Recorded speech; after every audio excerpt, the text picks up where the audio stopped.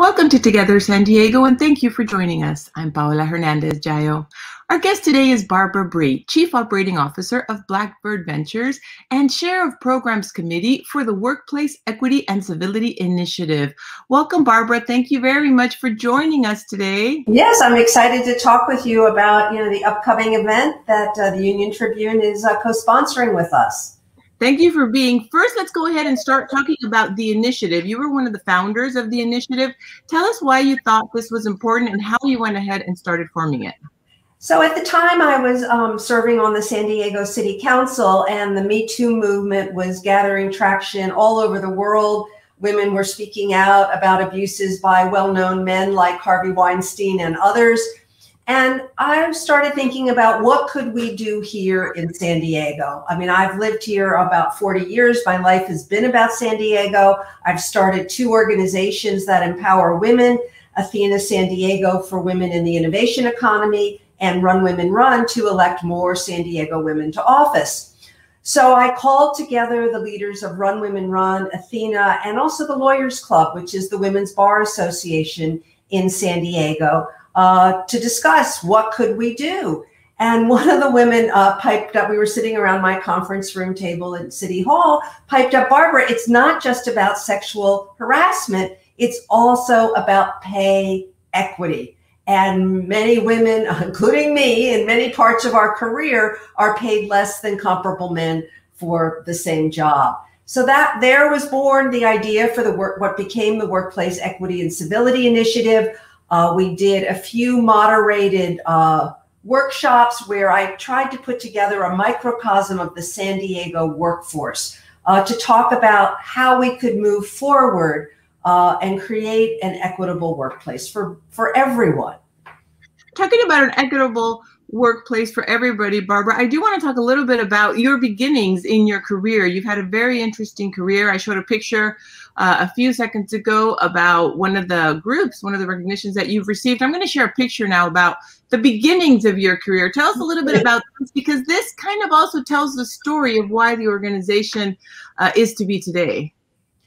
So uh, this dates me. Uh, first of all, you can see that my hair has had many eras, and it is naturally curly. But you know, you can wear your hair any way you like today. This is me in 1977. I was the second woman in the Capitol Bureau of the Sacramento Bee. At a time, there were very few women journalists anywhere. And actually, this speaks to one of the issues about Glass Half Shattered. I had an amazing mentor, Frank McCulloch, who was the managing editor of the Sacramento Bee. And he believed in me and gave me this opportunity. I mean, I did have a unique background. I had an MBA from Harvard, and it was unusual. You know, I was a business writer. And he believed that with that background, I could write stories that um, other kinds of journalists couldn't. So he put me in the Capitol Bureau of the Bee. Uh, which was a great uh, professional opportunity. It actually led to my job at the LA Times a year and a half later. And but yet I did have a Me Too movement at the Bee, a Me Too moment. Um, a senior Brown administration official who will remain nameless um, would call me at home at night on my landline. We had landlines back then, no cell phones, and he would want to come over. And I, you know, handled the situation as best as I could. I depended on this uh, man for, you know, as he was a great source. Uh, and but I never told anybody. I didn't even I didn't tell my girlfriends. I didn't tell my bee. I didn't tell the Brown administration. I told nobody. I just kept it a secret. Uh, and so I realized that these issues, you know, impact women in many different jobs, and it takes a lot of courage to step up. Now, tell us a little bit about the initiative. I'm going to share some pictures of when it was launched how this went about, and then now we can also transition into uh, the organizations that are involved with it, and also the event that you have coming up. Yeah. So uh, yeah, this is the official launch of the initiative. Uh, I think I, I was still on the city council at the time, and this was shortly before the pandemic shut everything down. And uh, the initiative, uh, I turned it over to the Lawyers Club to run, and they brought in the San Diego Union Tribune and the National Conflict Resolution Center. Uh, it's Dana Kopman, uh, one, uh, an attorney. She is one of the co-chairs of the initiative. And uh, Jennifer Rubin, who's a partner at Mintz, is the other co-chair. And the idea was, and there's Jeff Light. The idea is to sort of to get um, employers of all types all over the region to sign on to a civility initiative, uh, civility, um, a civility, I, I, don't know, a statement that they would treat everyone in their in the workplace uh, equally and equitably, not equitably. And uh, so this was the launch. Uh, here was a launch uh, where uh, several employers actually signed the commitment. And then I think a little bit later, the pandemic shut, you know, came and kind of sh- shut down um, our efforts to move forward. And the event that we're doing on June 23rd is an effort to restart uh, the initiative. And we've seen that this issue is just as timely as ever. Uh, recent news coverage in the San Diego Union Tribune actually about uh, issues about harassment and pay inequity in the craft brewing industry. Um, and then a headline uh, last Sunday uh, largest county employers face abuse claims. So this is a very timely issue. Uh, we want men to come. Uh, men are very important in um, making sure that we have an equitable workplace, that we finally uh, shatter this glass ceiling. And what um, I the reason I proposed this program and invited Colleen, Colleen Ammerman here to speak is because the book she is the co-author of really offers solutions. I mean, I'm tired of talking about this. I, you know, I've been in the, as you can tell, I've been in the workplace a long time. I've faced a lot of issues. I, you know, it's time to talk about solutions. And I'm a person who wants to solve things, not complain. And so uh, Colleen will be speaking at the event, which is going to be on Zoom and is free to the community. And uh, please sign up now because we are running out of spaces. And we're going to have take questions from the participants. Or we're going to have breakout groups so that you can talk uh, more intimately about what you've heard. And then we're planning a follow-up program for July 28th to on to talk about how we can take actions in our organizations and in the community based on what we've learned. That's wonderful, Barbara. I'm showing on the screen where the uh, audience can go ahead and register. Thank you for mentioning that it is free. It's via Zoom. Wednesday, June 23rd from 4 p.m. to 5.30 p.m. There is limited capacity, so please register for this free virtual event if you're interested at glasshalfbrokenevent.eventbrite.com. I'm sharing there. There's also going to be a raffle of some of the books as part of this. Tell us a little bit about that. Yeah, so um, the Union Tribune and some of the other sponsors have purchased some of the books. And uh, after the event, we're 25 uh, lucky Attendees will receive a free copy of Glass Half Broken.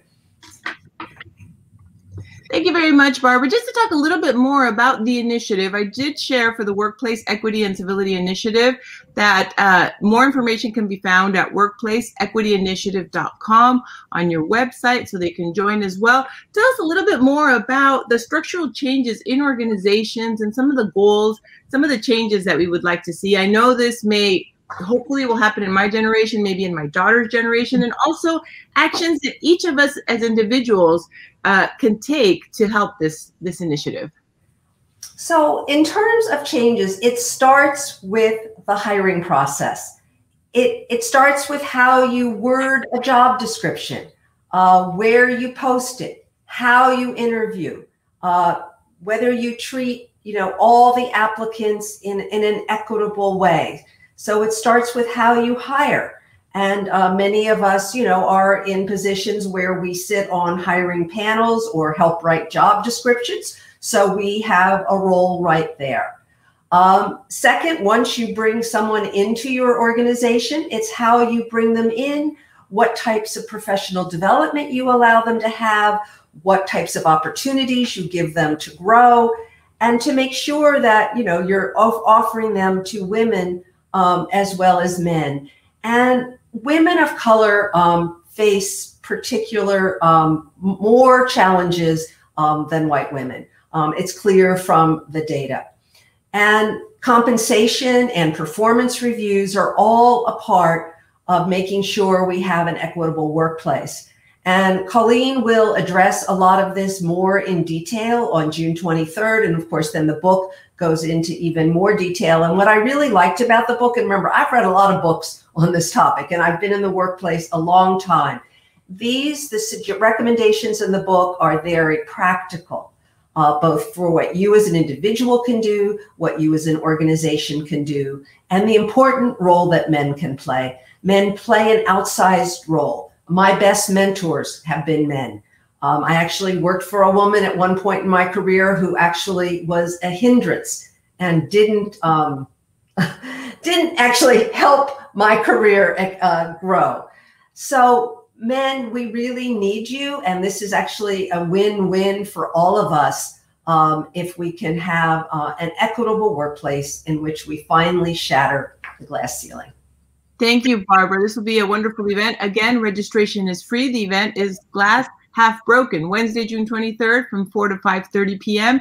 You can register at Glass Half Broken Event dot eventbrite.com for free. So make sure to participate, register, and it's a very important topic where we can all make a difference. Thank you very much, Barbara. Always a pleasure to see you. Thank you all for watching. For more of the Together San Diego lives, you may visit san diego union tribune.com slash together SD live. And if you would like to view more of our live streams, you can go to san diego union tribune.com UT today. Barbara, something else that you'd like to add? Well, I'm looking forward to seeing all of you on Zoom next week. I'll be moderating the event. And I'm looking forward, hopefully, from this event, we will get a core group of a few hundred people who will be able to truly make San Diego known as a place with organizations that have equitable workplaces, which will give us a competitive advantage in both recruiting and retaining talent. Hopefully. Thank you very much, Barbara. And I will see you next week at the event. Thank you very much. And thank you all for watching. Have a nice day. Thank you, Paula. News is more important today than ever before. I'm currently outside Otay Mesa Detention Center. I'm about to uh, get a report at Sharp. Out at Sunset Cliffs. COVID testing site. We live for these times when we're able to bring the news into the homes of people who need it the most. I thank all of you uh, for supporting our work. When you subscribe to the paper, um, is you're telling us that you believe in what we do.